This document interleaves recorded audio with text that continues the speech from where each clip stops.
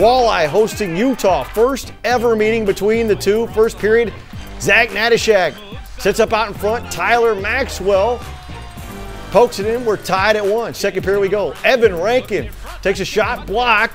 AJ Jenks just back. Scores. Welcome back. Welcome back. 2 1. Fish. Utah on the breakaway. Charles Searle. One on one. Jeff Lerg.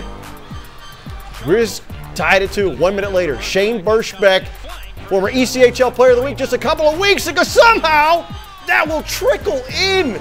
Unbelievable. Walleye go up 3 2, and they would hang on for the 3 2 win.